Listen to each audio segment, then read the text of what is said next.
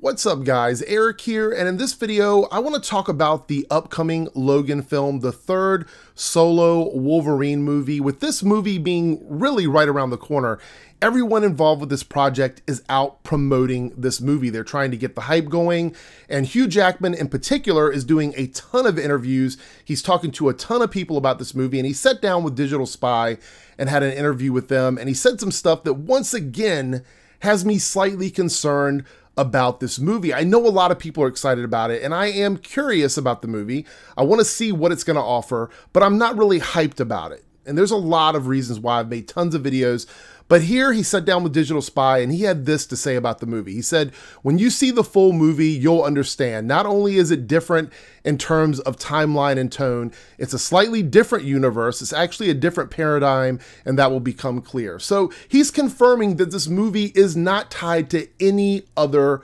X Men property. Now, this has been a point of debate with a lot of the fans of the X Men films. Was this movie going to take place in that original timeline? Was it going to take place in the rebooted timeline? Was it going to take place in like the Deadpool timeline? Where exactly did this movie land? Was it a dystopian future? Is it a you know a close uh, close to this time period film? Where exactly were this was this movie going to line up in the continuity and narrative of the X Men films? And here we find out that it is in fact pretty much a standalone film.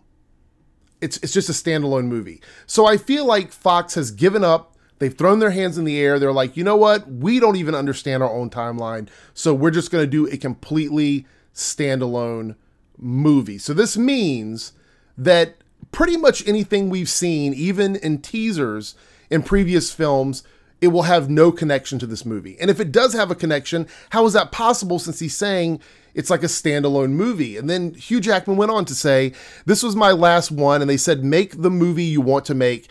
And uh, so they told Jim Mangold that he had this blank canvas and he wanted to make something really different, definitely tonally different. Um, so yeah, I mean, it sounds like they pretty much just took the gloves off and said, do what you want. So here's the thing this could be a good and bad thing. The good part about it is, since it's a standalone movie, they can pretty much do anything they want. Um, so, in that regard, it's great. But as far as being invested in the franchises, the first two Wolverine movies and the X Men films, um, there's going to be no continuity between these movies. So as a as they're trying to do this world building, you cannot do world building and then do a standalone film with the same characters who have acted in your franchise films.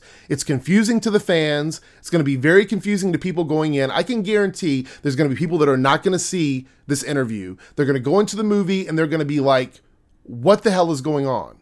Where is this in the timeline? Where is this in the story? They're not going to understand. You cannot do this with your fans. And this is part of the problem that the X-Men franchise has right now is it's too confusing. It doesn't make any sense.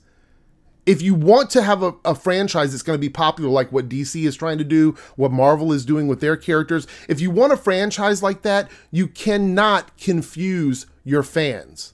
This is part of why Marvel started switching up a lot of their branding to not confuse people with Marvel films that just have Marvel characters in them and actual MCU movies because you don't want to confuse the fans of your property.